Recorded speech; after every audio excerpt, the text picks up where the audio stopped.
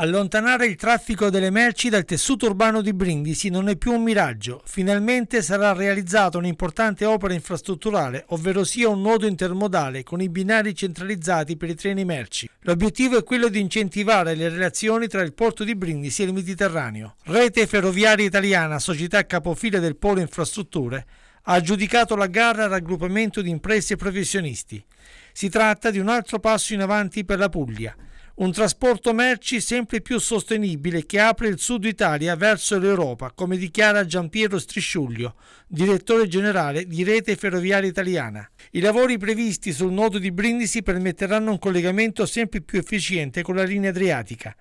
L'appalto ha un valore di oltre 33 milioni di euro, finanziato anche con fondi PNRR. Il progetto prevede il completamento della nuova stazione Brindisi Intermodale, che avrà quindi quattro binari centralizzati a modulo di 750 metri per arrivo e partenza dei treni merci e il collegamento ferroviario della nuova stazione con la direttrice adriatica, attraverso l'allaccio del nuovo bivio Brindisi Sud. Con quest'opera si vuole in pratica convogliare il traffico delle merci sui raccordi e la banchina portuale di Costa Morena tramite la dorsale Asia esistente.